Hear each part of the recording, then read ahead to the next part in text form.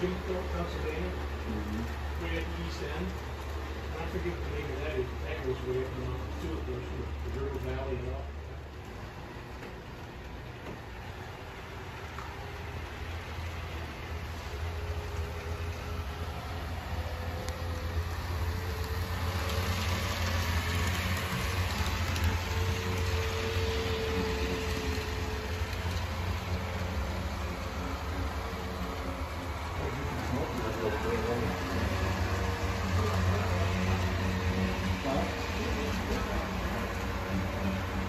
I worked on the,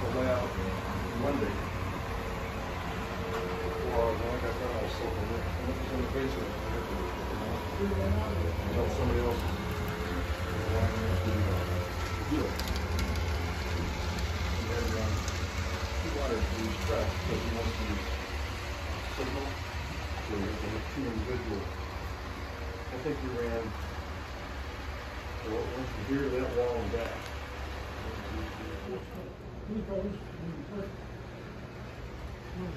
when you find switches underneath and get rid of the pneumatic, and go to DCC. Actually, wherever it switches, you couldn't reach, the rest of them, I make them all hand.